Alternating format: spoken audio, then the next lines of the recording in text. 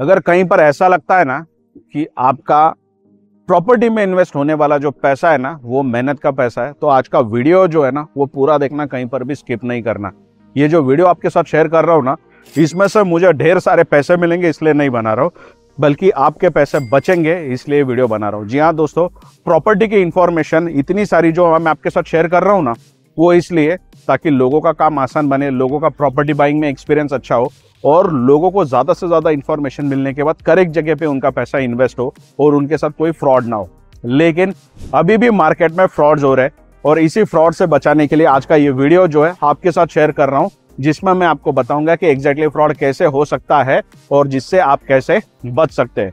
जी हाँ दोस्तों, आज की डेट में रेरा आ चुका है, जिस वजह से काफ़ी सारे बिल्डर्स और डेवलपर्स को जो है उन्होंने रेगुलेट कर दिया करेक्ट कर दिया। जिस वजह से फ्रॉड का जो सिलसिला है, वो काफ़ी कम हो चुका है। लेकिन अभी भी मार्केट में कुछ लोग ऐसा है, जो जानबूझकर ये सोच से जो है मार्केट में उतरे हैं कि लोगों के साथ फ्रॉड करेंगे और पैसे ऐसे ही ऐट लेंगे। ऐसा मैं इसलिए बोल रहा हूँ कि ऑलरेडी हमारे सब्सक्राइबर के साथ ये हो चुका है। उन्होंने वाया वाया किसी के थ्रू कहीं पे इन्वेस्टमेंट किया और बाद में जो है प्रॉपर्टी उनके हाथ में आई नहीं। फिर उन्होंने मुझे कहीं से जो है कांटेक्ट किया और मुझे अपनी बात बताई। खैर, उनको जो हेल्प करनी थी, मैं मेरे हिसाब से कर ही रहा हूँ। लेकिन मैं इससे बेटर क्या कर सकता हूँ? तो आप लोगों को बता सकता हूँ कि ऐसे फ्रॉड जो है आपके साथ हो सकते हैं और इनसे कैसे हम बच सकते हैं। देखिए, ऐसा मेजोरिटी मार्केट में अभी जो ब्रांड्स है, जो बिल्डर्स है, उनको सभी को अच्छा ही काम करना है। लेकिन हमें पहले समझ में आना चाहिए कि हमारे साथ फ्रॉड हुआ है या नहीं। जी हाँ दोस्तों, काफ़ी लोगों को एंड तक समझ में ही नहीं आता उनके साथ फ्रॉड हुआ नहीं। सबसे पहले फ्रॉड क्या होता है वो हम समझते हैं। किसी बिल्डर्स एंड डेवलपर्स के साथ आपने डील की है, लेकिन आपकी आपकी जो है डील को लेकर कुछ ना कुछ मिसकम्युनिकेशन हो गए मिस गाइडेंस हो गया, लेकिन प्रॉपर्टी आपको मिल रही है। कहीं से उसने आपसे थोड़े से चार्जेस ज़्यादा ले लिए, कहीं पे कुछ हो गया प्रोजेक्शन डिले हो गया टाइम पे कमिटमेंट फुलफिल नहीं हुए तो ये फ्रॉड में नहीं आता है, ये मिसकम्युनिकेशन में आता है। जिसके थ्रू जिसमें जो है आप बिल्डर से बातें करके जो है या फिर रेरा में कंप्लेंट करके जो है आपकी बातें जो है आप गवर्नमेंट के सामने रख सकते हैं और टाइम टू टाइम इसके ऊपर सोल्यूशन भी निकलते हैं। लेकिन फ्रॉड वो होता है जिसमें आपसे पैसे लिए जाते हैं लेकिन आपको प्रॉपर्टी दी नहीं जाती और ऐसे केसेस आज की डेट में भी वो हो रहे हैं। लेकिन ये फ्रॉड होता कैसे है? तो ये फ्रॉड ऐसे होता है जब हमारे पास लैक ऑफ़ नॉलेज होता है तब होता है।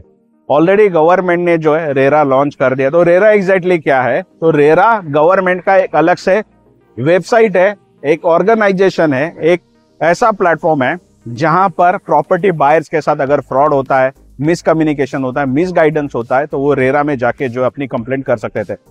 पहले ऐसा होता था कि प्रॉपर्टी में अगर आपका फ्रॉड होता है तो आपको नॉर्मल कोर्ट में जाना पड़ता था और कोर्ट के थ्रू फिर आपको जो है कई सारे चक्कर काटने पड़ते थे।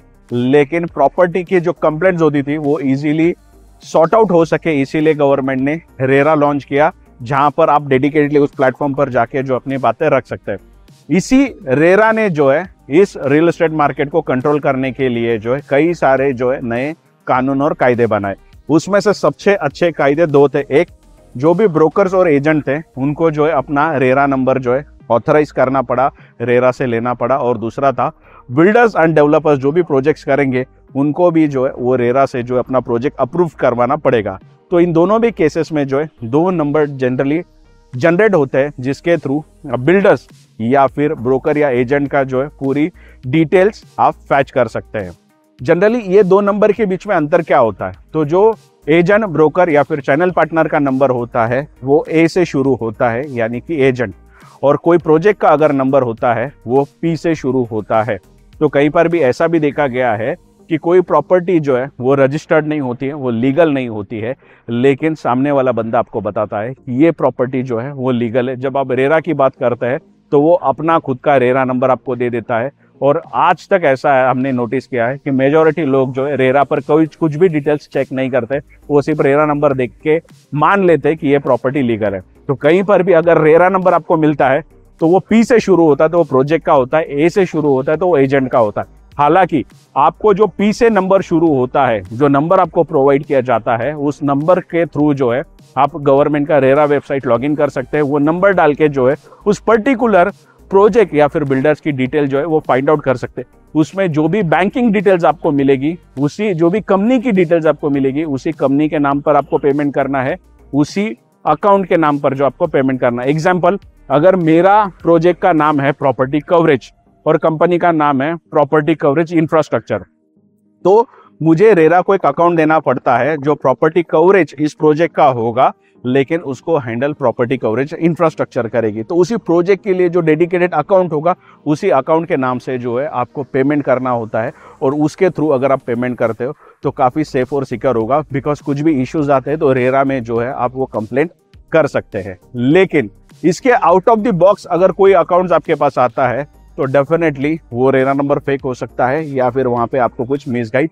किया जा सकता है। वैसे इसमें देखा गया है कि जो भी मैक्सिमम फ्रॉड्स होते हैं ना, वो कैश के थ्रू होते हैं। जी हाँ दोस्तों, जब हम प्रॉपर्टी देखने जाते हैं तो जो सामने पर्सन होता है, वो मेजोरिटी टाइम आपको कैश की ही डिमांड करता है और वो हमेशा यही बताता है कि आप कैश पेमेंट इतना करोगे तो डेफिनेटली मैं आपके लिए प्राइसिंग और कम करवा सकता हूँ। तो इसमें प्रॉब्लम क्या आती है? जब आप कैश देते हो तो उसका कोई एविडेंस नहीं रहता है। तो कभी भी अगर कोई भी प्रॉपर्टी आप चॉइस करते हो तो मेक श्योर sure करना वो रेरा रजिस्टर्ड हो, उसका रेरा नंबर हो। रेरा में जो बैंकिंग अकाउंट की डिटेल्स है, उसी नाम से आप चेक बना और चेक के थ्रू ही आप पेमेंट करो।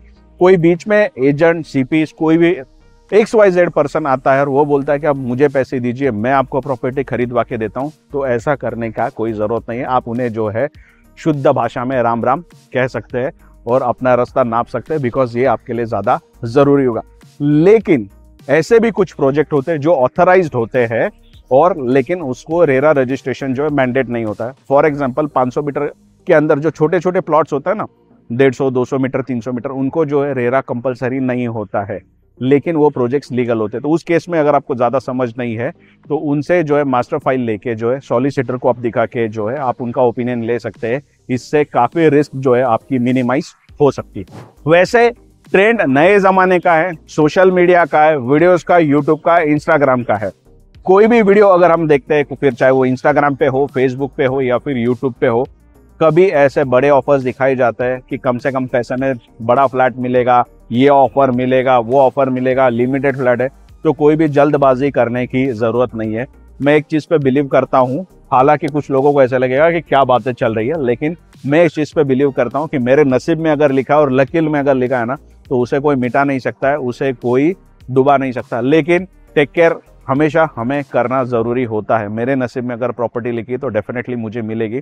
लेकिन मुझे जो है थोड़ा सा जागरूक रहना पड़ेगा। मैं मैं क्या कर रहा हूँ, किसे पैसे दे रहा हूँ, कहाँ पे व्यवहार कर रहा हूँ, ये थोड़ा सा समझना ज़रूरी है। और मैं ये इसलिए नहीं बता रहा कि मुझे खुद को लीड्स की ज़रूरत है। बॉस, मेरा कोई लीड जनरेशन का काम नहीं है। ये प्रॉपर्टी कवरेज जो यूट्यूब चैनल है, इसमें से ना तो मैं कस्टमर्स को बुलाता हूँ, ना तो मैं ब्रोकरेज लेता हूँ, ना कोई बिल्डर के पास मेरा कट है, ना मैं किसी तरीके का कमीशन का काम करता हूँ।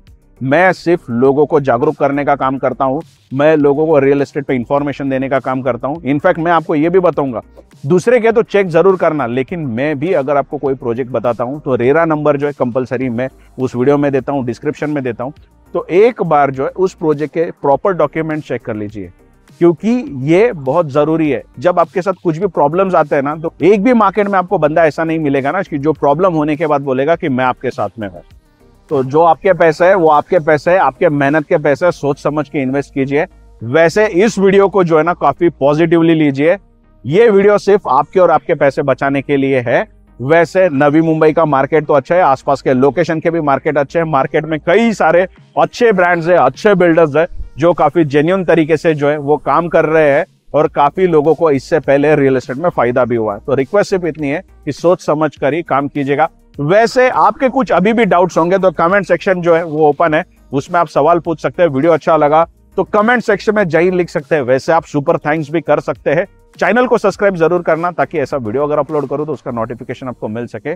मैं आपसे मिलते रहूँगा ऐसे ही नए वीडियो के साथ। तब तक के लिए जय हिंद।